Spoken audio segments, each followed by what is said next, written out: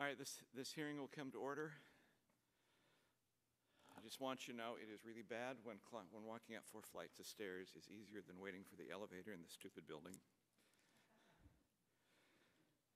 And so any puffing I'm doing in the, in the microphone now is simply my excitement about being here with you all. All right.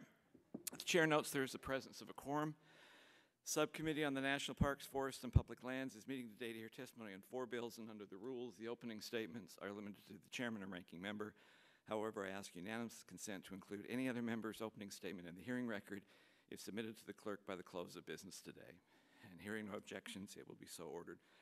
I want to thank our colleagues and the other witnesses who have agreed to testify today on four bills, H.R. 752, 1415, 3377, and 3436. Um, I think this is a significant debate. Monuments, wilderness, other land use designations have been much debated in our subcommittee, and these there are areas which have special significance. However, it's important that these areas be fully vetted to protect the interests and the livelihood of the communities who, uh, who could be impacted, something Washington doesn't actually do very well. So this hearing is important, and an important part of that process. If indeed we are planning on locking up lands throughout the West, the potential to restrict access to timber, to grazing, to mining, and especially to recreation must be considered as well as what sometimes becomes a devastation to rural communities unfairly bearing the brunt of poor man management decisions. So, in this regard, I'm submitting into the record a letter from the America Forest Resource Council noting that these proposed designations for Western Oregon should not be enacted without a solution to break through the multiple use stalemate on O&C timberlands. Failing to do that, to add up additional or lock up additional areas with designations, would further devastate this area's resource dependent economy. And I'm not saying that as a bargaining chip. It is simply that for too long we have gone down a one way street of removing lands from multiple use through designations without consideration of the economic harm that is caused on surrounding communities. So it's important to maintain the practice of looking at wilderness proposals thoroughly, individually, as opposed to a comprehensive omnibus bill and administrative actions that seek to designate millions of acres in one fell swoop with little, if any, consideration of the consequences for the local communities. So I look forward to this hearing from, from our wilderness uh, witnesses today. I recognize the ranking member this time for his opening statement. Thank you, Mr. Chairman. Let me thank you for bringing these four bills up. Uh, three from the state of Oregon, one from Nevada. Uh, I appreciate uh, majorities bringing up the bills, and we're hopeful that we'll have uh, consequent hearings uh, with uh, legislations that have been introduced by my colleagues, Mr. Lujan from New Mexico, Mr. Machado, and Congressman Machado. It's impressive. Uh, all these four bills, for my reading, have very, very strong community support and a coalition uh, that is promoting the enactment of these, this legislation. Uh, and uh, the debates that we've had on, on this committee about monuments, wildlife areas, uh, are outside the beltway is a, is a different reality where communities can come together uh, and close that divide. And I think these pieces of legislation are a good example of that. Uh, so my uh, congratulations to those communities uh, for their work, to my colleagues uh, for bringing these bills forward, and uh, I look forward to, to the comments from the witnesses today. And with that, I yield back, Mr. Chairman. Thank you, Mr. Grijalva. We have uh, two sponsors who are with us today. We'll be introducing their legislation and will remain on the dais as we go through this process. Congressman Amodei from Nevada is the sponsor of 3377. Congressman DeFazio of Oregon is the sponsor of 1454. And if we can um, uh, open up to their opening statements first, we'll, let, we'll do alphabetically. Let Mr. Amodei go first on his legislation if he would like to, then Mr. DeFazio to explain his if he would. Thank you, Mr. Chairman, and I apologize as the junior member of the committee for not having the elevator waiting for you when you arrived today. That won't happen again, especially on a day when one of my bills is being heard. Mr. Chairman, Ranking Member Grijalva, fellow members of the subcommittee, thank you for holding the hearing today on H.R. 3377, the Pine Forest Recreational Enhancement Act. I was pleased to introduce this legislation as one of my initial acts after being elected to represent Nevada's Senate District. I appreciate your uh, scheduling it today. This legislation is the result of the collaborative work of the Pine Forest Working Group, which is a group of local citizens from northern Nevada. It is a balanced proposal to end the management of the Blue Lakes and Alder Creek Wildlife Stu- Wilderness Study Areas and instead tailor the management of these areas to the needs of local communities.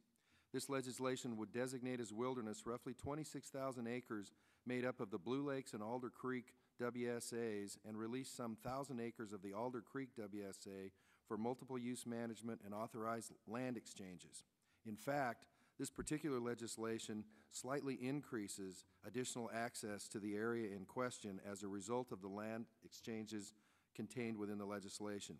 It has the unanimous support of the Humboldt County Commission as well as the working group members representing sportsmen, off-highway vehicle users, ranchers, Humboldt County Administrator, Nevada Department of Wildlife, guides and outfitters, wilderness advocates, mining interests, Humboldt County uh, Agricultural Extension Agent from the University of Nevada, among others. The process, which through recommendations has developed and received the endorsement of the 2011 uh, Nevada State Legislature, as well as the Nevada Association of Counties.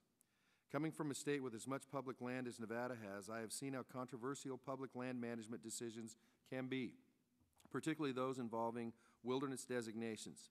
The kind of consensus that was developed through these stakeholders in Humboldt County through the Pine Forest Working Group is rare and laudable. The collaborative effort began in 2009 and has ended with this hearing here today. The bill would ensure that lands are managed in a way that meets and needs the local community and stakeholders' needs, including access for fishing and hunting, camping, and other outdoor recreation, as well as fire management, which is a very important thing in Nevada, especially with the sage grouse issues that are going on there now.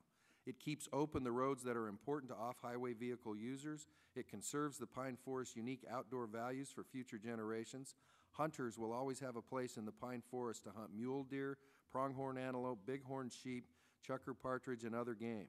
The Blue Lakes Complex and both the Onion Valley and Knott Creek reservoirs will continue to be a destination for thousands of anglers who visit each summer and fall. I will close with a quote from Annie Krakaw, a Winnemucca potato farmer, resident, and member of the family that ranches in the area. On the working group process, she said, Going in, I think there was a level of skepticism, but most of us, the ranchers and the recreationalists and the government entities like BLM, have all been respectful of each other.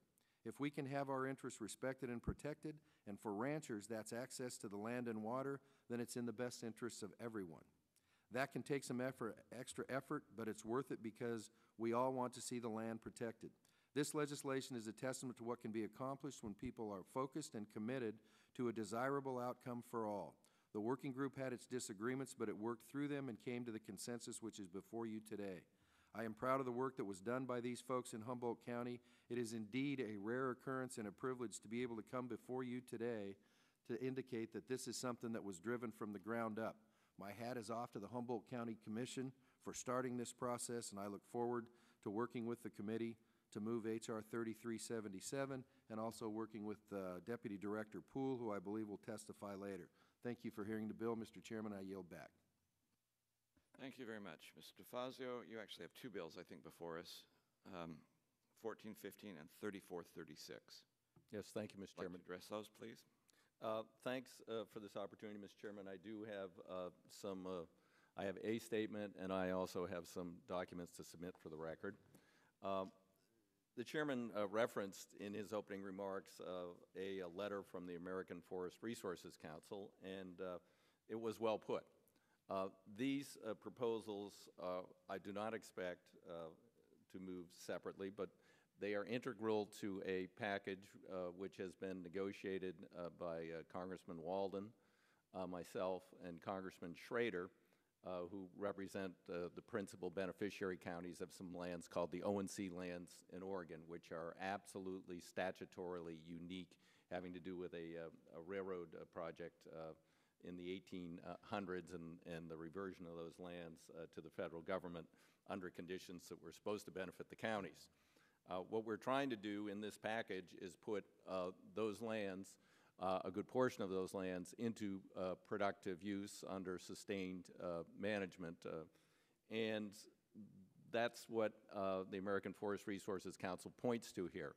Uh, I also have a, a document which, to enter into the record, which is what's called a term sheet, which is an understanding between the American Forest Resources Council, the American Rivers, Klamath Siskiyou Wildland Center, Oregon Wild, the large company, pertaining to legislation to designate certain streams as wild and scenic and certain lands as wilderness. Uh, That is uh, the proposal that is in this bill. It's rather unique in that it was negotiated between uh, the- the American Forest Resources Council, representing the timber industry, uh, and in particular, uh, one mill in this area, which is very dependent upon federal lands, and uh, environmental groups representing citizens in those areas. And that is included uh, as negotiated by the industry and those groups uh, two years ago in this bill. Uh, The, uh, the second portion, uh, or the second bill, which the chairman referred to, uh, is for the Chetco River, which is also a part of this package. And this is a river that Senator Hatfield and I, some years ago, added to the wild and scenic, to Oregon's wild and scenic rivers. And uh, this would be a technical correction to that earlier uh, legislation. Uh, I think there's a, a unique opportunity here. The lands uh, that are covered uh, by the wilderness proposal and the wild and scenic are, are very heavily rec- recreated. I'm going to make clear in speaking to the agencies that this would not affect the permitting system or current use of the river in any way because it is a very heavily recreated and, in fact, uh, in the uh, summer months, permitted uh, entry area. I've hiked the length of the river, stayed at lodges there, wouldn't have any impact on the existing lodges or access to the lodges. And, you know, I've also gone down that river in a drift boat and in a raft, so I'm quite familiar with the area and, and the concerns. Uh, the lands involved, uh, in part why I believe the uh, industry was willing to come to the table here, is that uh, the lands that are, would be designated would represent 4% of the lands that we would put into productive use uh, through this comprehensive legislation we're proposed. Uh, And, uh, you know, the industry also realizes that the majority of these lands are in what are called late successional reserves under the Northwest Forest Plan and critical habitat, and uh, are not likely uh, to uh, be logged in any case. So I think that in part also led to their decision to support this. So I appreciate the opportunity today to present these documents to the committee, my statement to the committee, and, um, and look forward to hearing from the administration. Thank you, Mr. Chairman. Without objection, they'll be added to the record. Can we invite um, Mr. Pool as well as Mr. Pena to come and join us at the table right now? Let me also um, perhaps change the order slightly in the way we'll address these bills. I think, Mr. Pena, from the Forest Service, there is only one of these bills in which you are, um, you are going to be testifying. So if it's all right with the committee, let us address 1415 first. We'll take those issues and then we'll do, we'll address the other bills bill by bill as we go through there. So Mr. Pena, who is the Assistant, Associate, I'm sorry, Deputy Chief for the National Forest Service in, um, uh, in the Department of Agriculture, we're ready for your testimony as, as always. Uh, everything you've already submitted is part of the record and uh, I'm sure it needs no explanation too, but the clock is in front of you. The yellow light means you have a minute left. When the red light comes on, we'd like you to conclude your testimony. Mr. Pena, you're recognized for five minutes. Thank you, Mr. Chairman. Um, Mr. Chairman, Ranking Member Grijalva, Mr. DeFazio, and Mr. uh, Amodei, thank you for the opportunity to appear before you to provide the administration's views on H.R. 1415, the Chetco River Protection Act of 2011. The administration supports this legislation as written. The bill would amend the Wild and Scenic Rivers Act to make technical corrections to the segment boundaries for the Chetco River in Oregon. The bill would also add language to the act to provide for withdrawal of the land within the Wild and Scenic River boundary, subject to valid existing rights from all forms of mineral entry.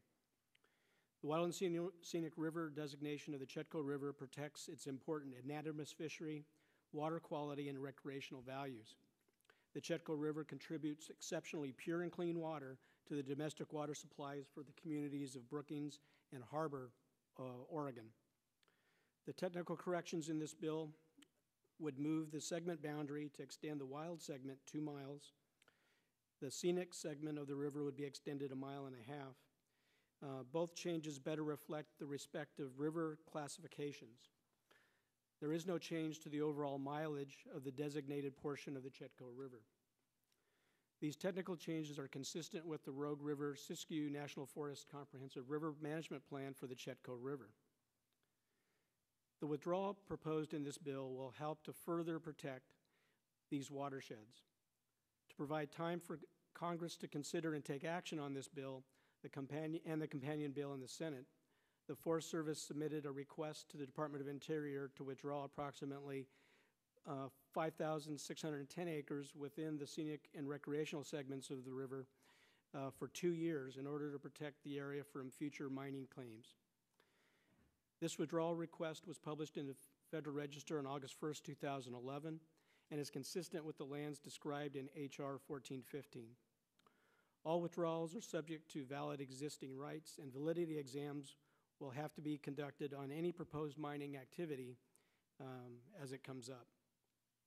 This concludes my remarks, and I'd be pleased to take any questions that you may have. All right, we'll turn to the committee for questions on this bill, 1415. I'll turn to the ranking member first if he has any questions. Mr. Grijalva? Thank you, Mr. Chairman, and let me uh, uh, yield my time to the sponsor of the legislation, Mr. DeFazio.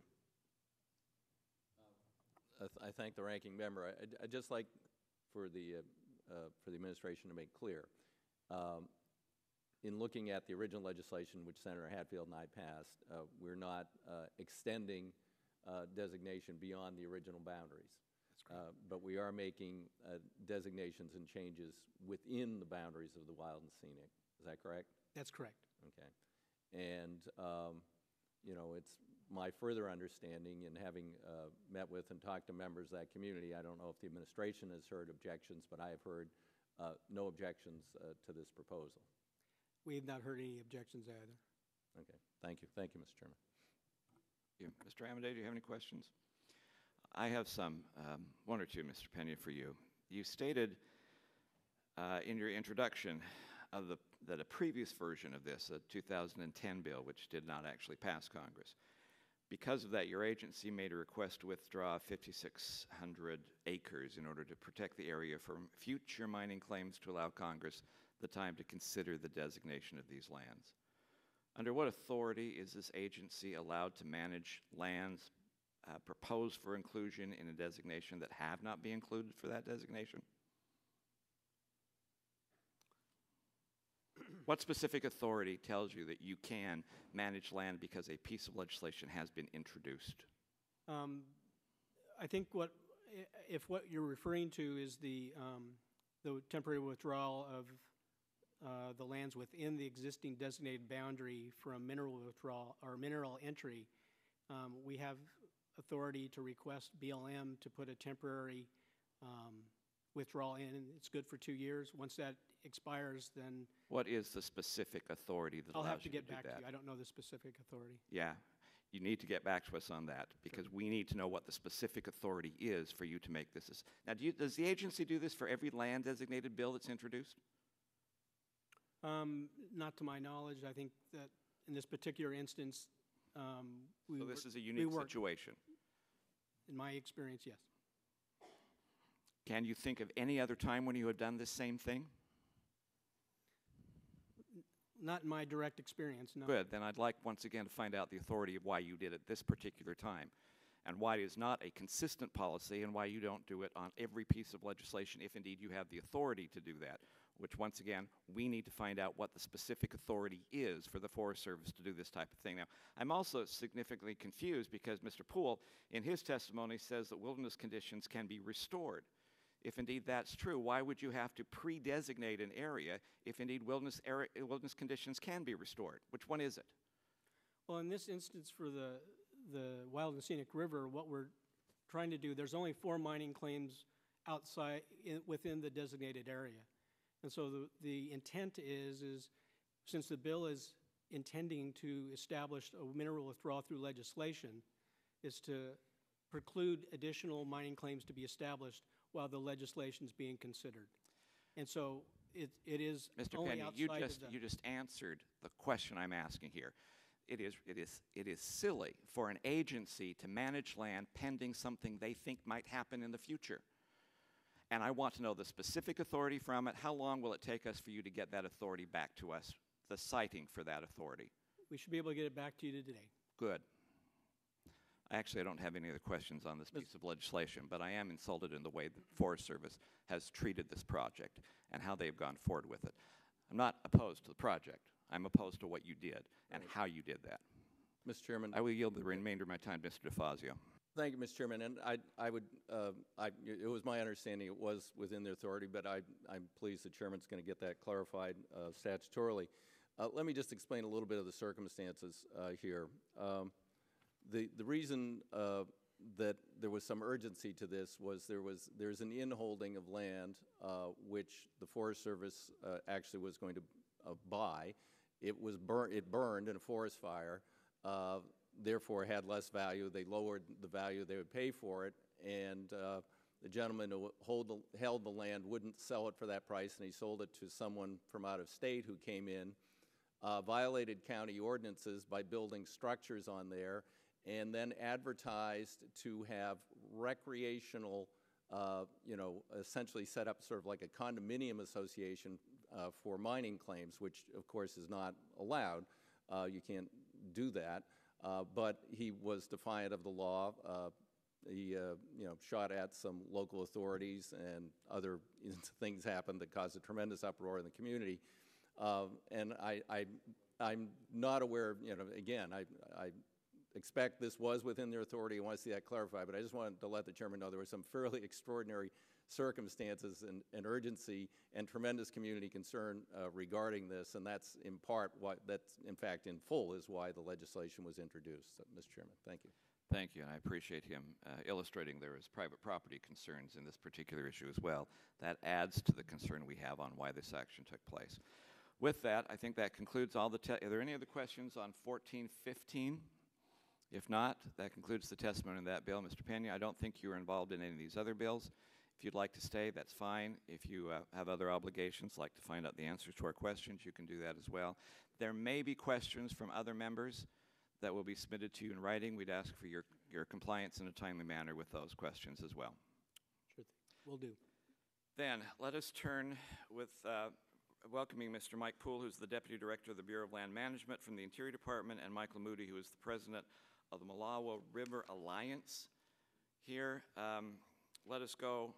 Which one do you want to go through first? All right, Mr. Amodei, if it's okay with you, let me get the two organs out of the way, and then we'll go with uh, back to yours. So let me have you, uh, Mr. Uh, DeFazio, you're here. Let's go with 3436. I don't know if Mr. DeFazio, you have anything else you wanted to add to 3436? No, yeah, Mr. Chairman, I'd, I'd like to uh, I'd- a little more background on this, i- if. the I'll chairman- recognize you for five minutes for this one. Uh, Thank you. Uh, Actually, I had uh, introduced legislation uh, previously uh, regarding this area, which would have uh, covered um, a, uh, a larger area with wild and scenic designations to protect the iconic Rogue River. And that was what generated the discussion between environmental groups and the timber industry and led to their memorandum of understanding in support of uh, this legislation. Again, it's quite unique uh, in, in this instance, although uh, we do have, and I will, to be fair, enter into the record, opposition from uh, the Sierra Club to uh, the, what, this uh, wilderness designation uh, as part of the O&C negotiated package. They believe that, you know, it- that this should just be passed separately, and they don't want to see uh, it as part of a package which brings management uh, to nearly a million acres of land. So um, even though there was an earlier memorandum of understanding between the American Forest uh, Resources Council and the environmental groups, apparently now some of the environmental groups are uh, withdrawing their uh, support from this uh, wilderness designation, and I just wanted to make that clear, Mr. Chairman. Mr. Pool, to 3436, if you would, please. Chairman, if it's okay, I've consolidated. Do you want me to separate out that particular yep. bill? Okay. Mr. Chairman, members of the subcommittee, thank you for inviting the Department of Interior to testify on the uh, Pine Forest Range Wilderness Act, uh, excuse me, H.R. 36 to expand the Wild Rogue Wilderness and Rogue Wild and Scenic River. I apologize for that. I've got to separate out my commentary.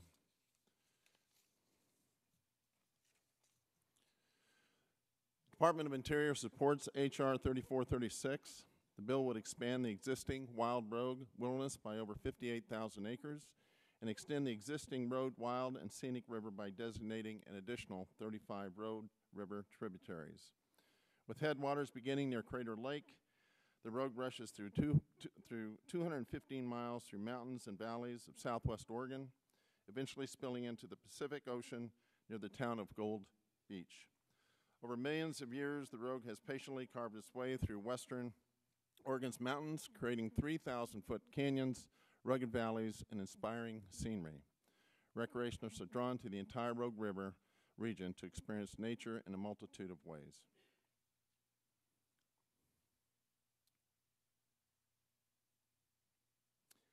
And to conclude, for several years, Representative DeFazio and other members of the Oregon congressional delegation have worked with local stakeholders, governments, recreationists, and the conservation community to enhance protections of the Rogue River watershed, and H.R. 3436 is a result of those concerted efforts. All right, thank you. We appreciate that. We'll turn to uh, other questions from members of the committee. Mr. Grijalva, do you have questions on this bill?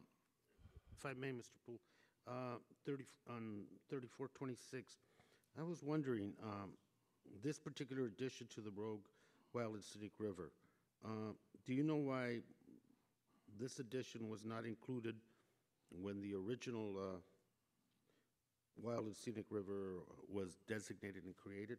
Uh, no, Congressman, I don't know that answer. And so you don't know the reason why we're adding it now? I, I think there's been a lot of community outreach on, on the part of the uh, Oregon delegation. And there seems to be a community stakeholder consensus that uh, these lands uh, that encompass the wild and scenic portion of the rogue and and and um, is it's steep, it's primitive, and um, and it has all the characteristics for conservation and protection. yield back, Mr. Chairman? Thank you. No, let me. Can I still do it after I yield back? or do- If you want to go ahead. I never listened to You Grijalva anyway. Miss, you can have the remainder of his time.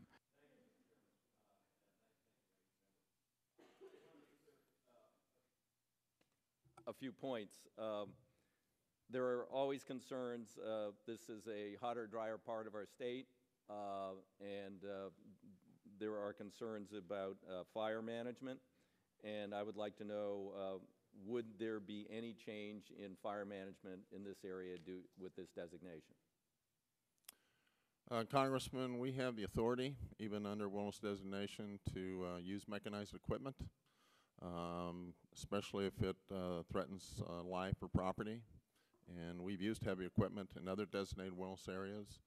Uh, it depends on the size of the fire, um, the nature of the fire, and and uh, so we typically look at minimum tool applications. But BLM, many times, our state directors have applied the authority to use mechanized equipment. Okay, so this would not change? It would your- not. Your planning, okay. No, sir. Um, And then I, uh, last year, uh, when I uh, hiked the uh, entire length of the Rogue Trail and, and uh, met with a number of the uh, uh, owners of the, uh, the lodge inn holdings, uh, I, I ran into some interesting problems uh, they were having. Uh, There's a, a historic uh, farm holding, used to be a store, which is now uh, owned by the government. It's a visitor center on the river. And uh, the government recently installed uh, some nifty little things called Pelton wheels uh, to provide power there. Uh, But uh, a mile down uh, the river from there, I met with a lodge owner who wants to install Pelton wheels on his property so he can do away with using a diesel generator. It's uh, very expensive to bring in the fuel, it's loud, the guests don't really like it, uh, and he'd prefer to have the same opportunities that the government has. But he was told uh, that under the management plan, he couldn't have Pelton wheels, even though the government could have Pelton wheels. And uh, I would hope that uh, either by modifying this legislation or in some other way we can work this out uh, between the Forest Service and the BLM, because these are lands are administered by both, uh, with some of these lodge owners. I met with another lodge owner who also uh, has a much more torturous uh, uh, drive to bring in his diesel, and he would like to go to solar panels. But he was told solar panels didn't fit wild and scenic characteristics, although a diesel generator chugging away, uh, you know, does. Again, uh, he kind of finds that hard to believe, as do I. So I, I'm hopeful that we can bring some uh, reasonableness here. Are, are you aware of these situations uh, that I've mentioned? I'm not, but I'm more than glad to look into it, and provide you some clarity as to why we elect to go one way and then Right. a different way. And if, and if necessary, then I, I would hope that could be expedited in case we do move this comprehensive package forward. I'd like to, if necessary, legislate uh, so that these lodge owners can do some reasonable things that would enhance the quality for their guests, save them money, uh, and, and benefit the environment. Great. We'll look into that situation for you. Okay, thank you, thank you, Mr. Chairman. Mr. Amodei, do you have any questions for 3436? Mr. Holt, do you have any questions for 3436? Just, uh, just briefly, thank you. Um, uh, uh, First of all, I just want to state uh, full support for Representative Schrader and Representative DeFazio uh, in their efforts here, uh, knowing that how special uh, these places are. Uh, For the Rogue River, uh, I I can yield uh, to the gentleman in a moment. Um, How much uh, uh, river length is added, would be added under this legislation, and what would be the total uh, length of uh, Um, the- designated river? It's um, approximately 35 tributaries to the Rogue that constitute about uh, a little over 90 miles. And uh, the majority of, of that designation would, uh, would reside within the designated wilderness area. There are, And the total amount, uh, total length of, of uh, water protected then, um, well, if you include the already, es- designated? Yes. yeah, well, I just want to clarify that the bill also um, identifies the need to withdraw public lands from the appropriation of public land laws, mineral leasing laws, and the upper reaches of these tributaries, so as to protect the water quality. I- I know there are other parts to the legislation. I just wanted to get a sense of, of what we end up with then in, in, in area or length, really. Yeah, the, the, I'm ma- here. the 93 miles, the majority of that is, would, would be within the designated wilderness area. Okay. Uh, And although this is a separate matter, the Chetco, wh- what would be, uh, is there any length added to that in this, uh, in uh, 14, 15? Um, No, there's none, there's none added to that. Okay, thank you very much. Uh, With that, I yield uh, my remaining time to Mr. DeFazio, and thank you. Uh, I thank the gentleman for yielding. I forgot that. I had- did have a third question. Again, uh, a concern has been raised uh, to me uh, by the, uh, by the outfitters uh, who uh, guide professionally on the river, and they want to be certain uh, that this designation will not affect uh, the uh, current permitting system and uh, would not uh, affect the current uses uh, by the uh, commercial and non-commercial uh, on, on the Rogue. We have no intent whatsoever, Congressman, to alter those current activities. Okay, and this, and the legislation itself doesn't alter them, Correct. right? Okay, Yeah, thank it you, does not. thank you. Uh, Thank you. I I reclaiming, I just want to finish with a, s- with a statement uh, that I know how special these areas are, and I really applaud uh, Mr. DeFazio and, and uh, Mr. Schrader uh, for their efforts on this. All right, if there are no other questions on 3436, we will turn to uh, HR 752. And here, both of our witnesses will have testimony on that. Mr. Pool, we'll go with you first on 752. Thank you, Mr. Chairman. The um, department supports H.R. 752, which- which would designate approximately 15 miles of the Molalla River and six miles of the Table Rock Fork of the Molalla as components of the National Wild and Scenic River System. The Molalla River begins its journey to the coast uh, on the western slopes of the Cascade Mountains of Oregon and flows undammed for 40 miles west and north until it uh, joins the, um, the Willamette River. Several years ago, local residents joined together and formed the Molalla River Alliance, a nonprofit, all volunteer organization with over 45 public and private partners. Working cooperatively with BLM's local field office, the MRA has provided the Molalla the care it deserves.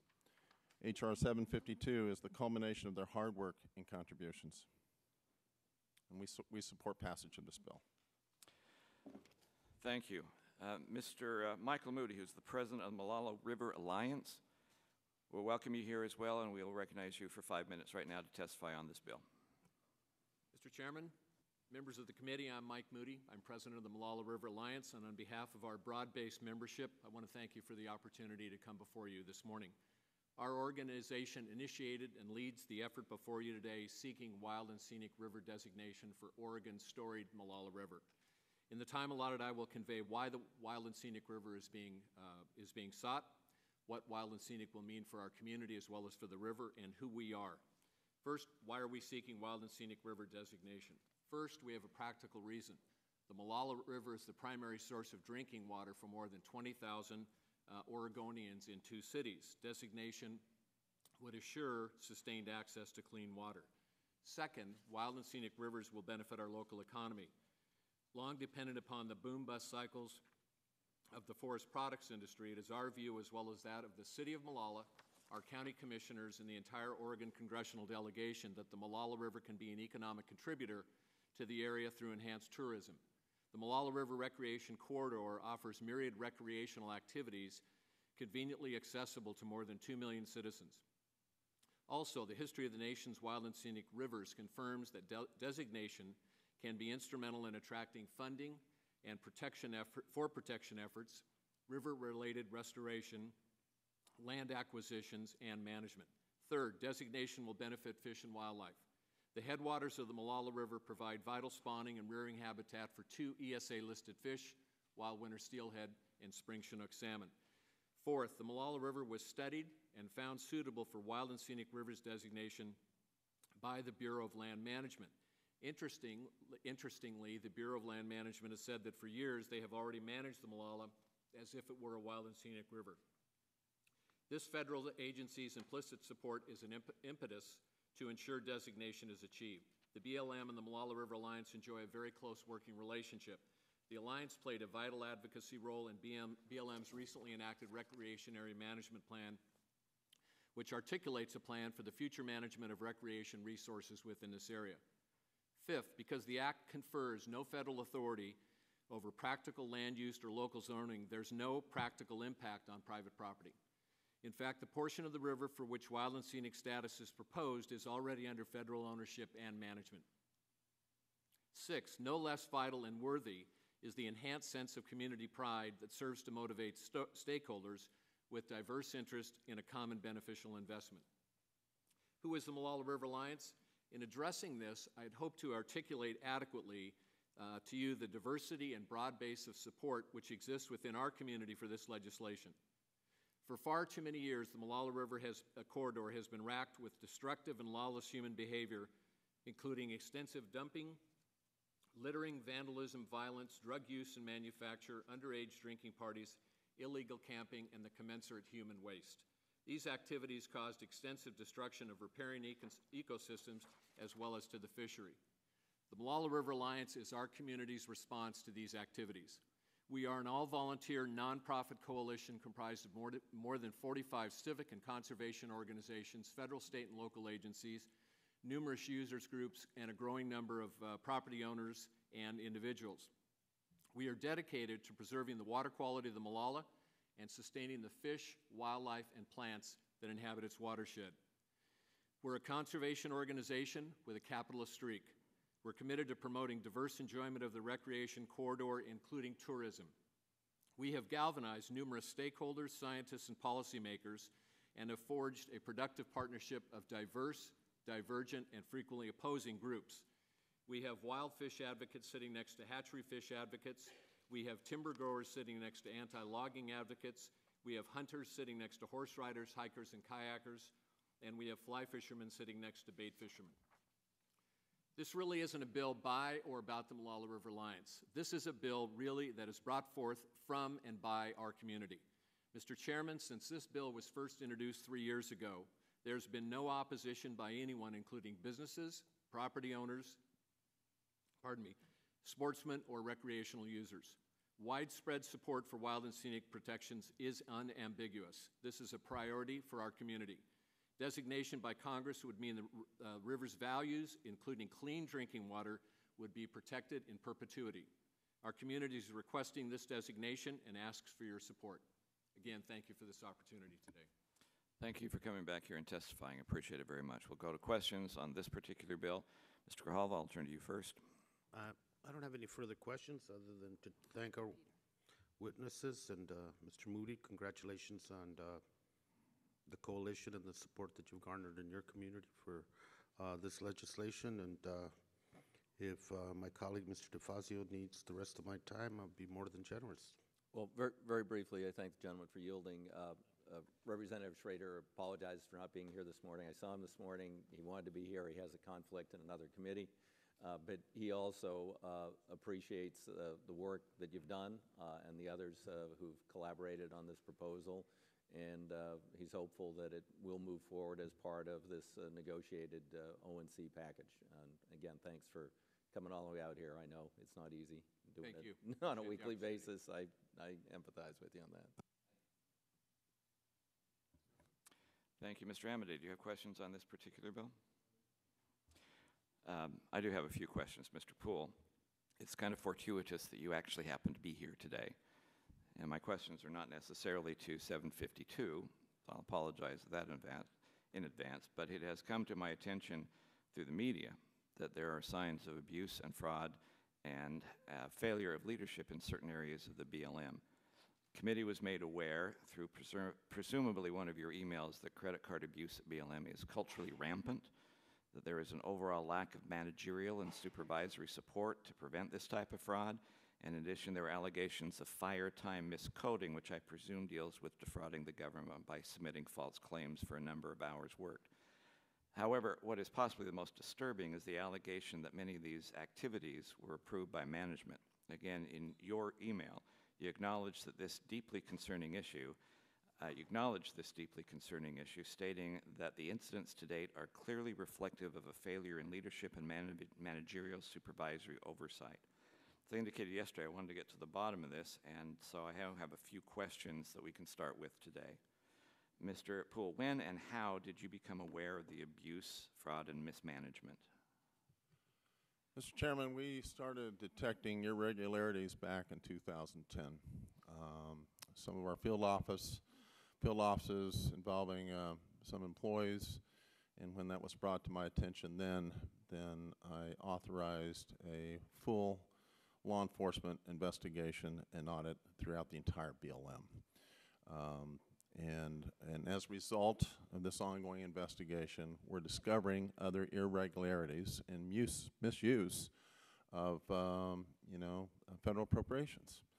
We, I take this, this rests on my shoulder as the deputy for operations for BLM. I take these actions very seriously. Um, and as I, for the information you just uh, portrayed, uh, it is, in many respects, a failure in leadership, a failure of management oversight. And as we work on each of these cases, we are holding people accountable. And we've already taken numerous actions to date, and uh, many of the investigations are still ongoing. But we take this very serious. Um, Do I assume from what you're saying that there is a, an ongoing investigation oh, yeah. as we speak? Yeah, i- the reason being it, it takes a lot of auditing work, and I wanted to ensure, I wanted to find out how widespread is it. Uh, at this point in time, it's a few field offices and a couple of j- uh, state jurisdictions. And um, so I wanted to completely canvass the BLM and to see how far and how wide this problem may be. Um, you know, BLM has had a proud tradition, our fire program. We've had thousands of employees come through that program at all levels, and many of us came up through the fire program. So, um, you know, we're going to take those that misuse or in some cases abused these financial authorities. We are taking appropriate disciplinary action. Most importantly, we want to restore the integrity, the integrity and management oversight in, in, in managing these finances in our fire operations. Mr. Poole, since um, already the media has seen a portion of your emails, would it be possible to provide this committee with a copy of the emails as well? Yes. I appreciate that very much. Absolutely. Mr. Chairman, Uh, yes, sir.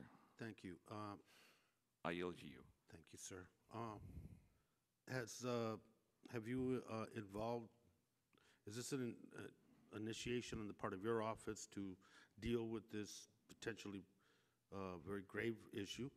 Uh, And if, and if so, have you involved the uh, Inspector General or or the legal counsel from Interior into Uh, all that process? fronts. We have, we, uh, early on consulted with the Inspector General's office. Many of these cases, we were working with our own solicitors, U.S. Attorney's Office.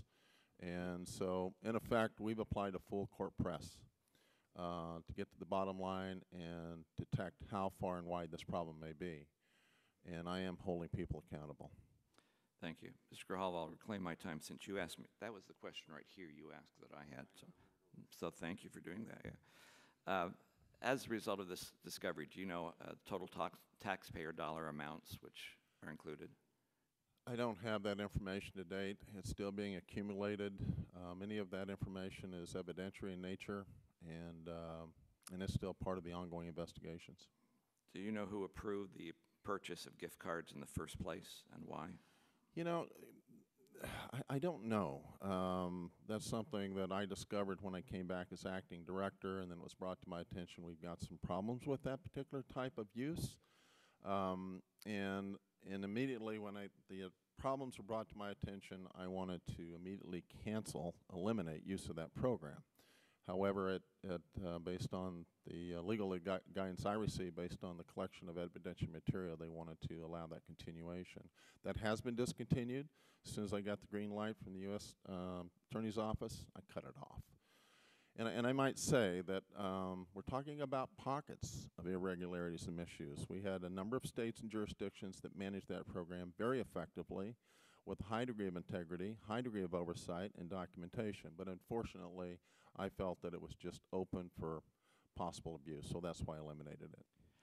I'm going to ask the committee because my time is over here. I do have like three other questions on this topic, but if other people wish to ask questions on this first, then if, with the committee's indulgence, let me just finish those, those questions very quickly.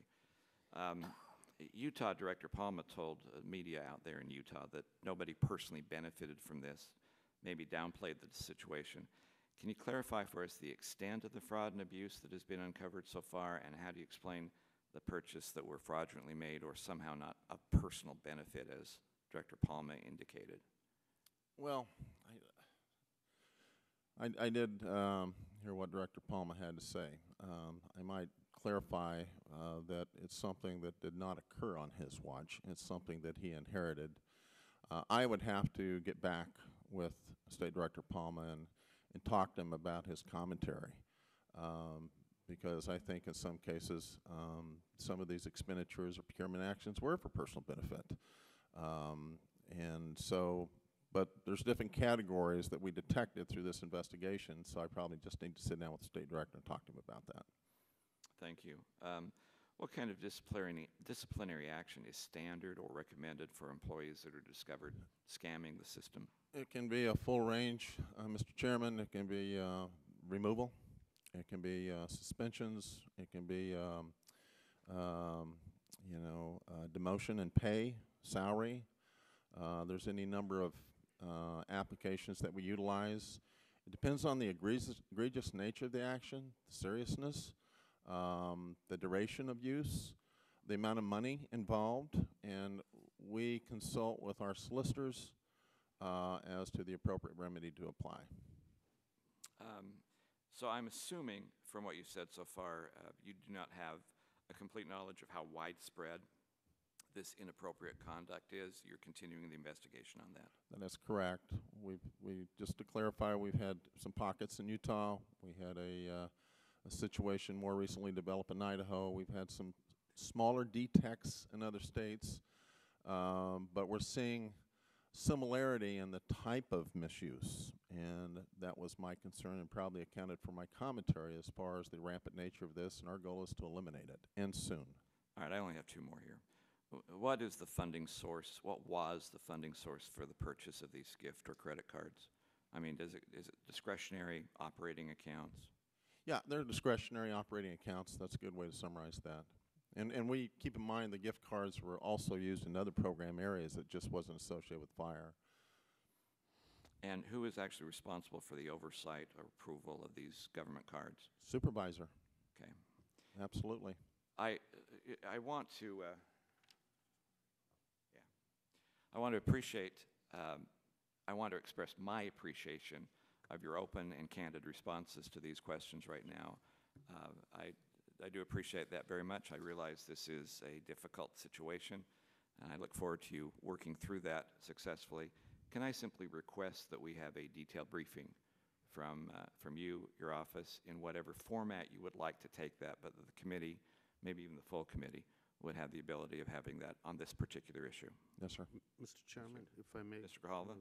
Uh, Because the, the subject, uh, as important as it is, uh, uh, i- is not the subject matter of this hearing, I, I would, uh, and the, and the courtesy has been extended to, to, to have this discussion, which I think did merit the courtesy, I would uh, ask the chairman that uh, the, the subcommittee uh, at some point uh, soon have uh, a full, a full subcommittee briefing and uh, uh, from Mr. Poole and, and from the Inspector General, if the gravity of these issues as illustrated by the gentleman today is such, I think it merits a standalone hearing where the subject will be that, and the exploration of that subject can be full and in detail. With that, I yield back. I appreciate that, Mr. Colvin. We'll work together to see if we can, we can accommodate that in the future. Thank you. Now, with that, let me turn to more pleasant issues, which is H.R. 3377, the Pine Forest Range Wilderness of Mr. Amodei. Um, Mr. uh, Poole, again, if you have comments towards Mr. Amodei's uh, piece of legislation. Thank you. Department of Interior supports H.R. 3377, which designates Pine Forest, Range Wilderness, in Humboldt County, Nevada, on lands managed by the BLM. Pine Forest Range, northern Nevada's arid Great Basin, is a rare and exceptional area of abundant streams and clear subalpine lakes. The designation of the Pine Forest Range has strong support from the county government and local citizens. Since 2009, a wide range of stakeholders have worked cooperatively to bring together diverse interests in a grassroots efforts to protect the special area. There's a long history of bipartisan support in Congress for the conservation of America's special places. H.R. 3377 is an example of just such a bipartisan effort. And therefore, the department does support the passage of this legislation. Thank you very much. I am going to yield, Mac, actually, Mark, if you can take my spot over here to Mr. Amodei to ask questions on this particular piece of legislation.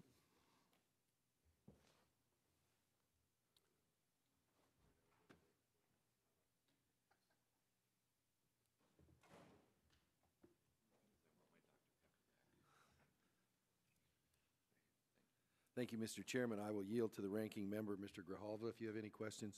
I have, uh, thank you. I have no questions. I yield back. Thank you. Um, Deputy Director Poole, thanks for coming today. Appreciate your support. Uh, Based on the fun that you've had with the most recent questioning, I think that's probably enough for one day unless you have anything you'd like to add. I'll just, in reference to your bill, I'll just say that I started off in Winnemucca, Nevada, and I did fish Onion Reservoir on many occasions. It's one of the best fisheries in the whole state. So I know the area well firsthand. Thank you. Appreciate that. We'll look forward to seeing you out there. Are there any further questions?